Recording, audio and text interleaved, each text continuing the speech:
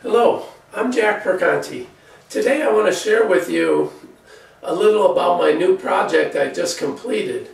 My new book, Creating a Season to Remember, the new Youth Sports Coaching Leadership Handbook. When I say new, I'm not sure there was an old handbook, but I do know that the youth coaching situation needs a makeover. Not a day goes by without reading or hearing about an unfortunate scene at a youth sporting game. It's time that youth sports coaches take control of the situation and bring the game back to the kids. I got tired of seeing kid uh, coaches throw away their shot at making a difference in kids' lives.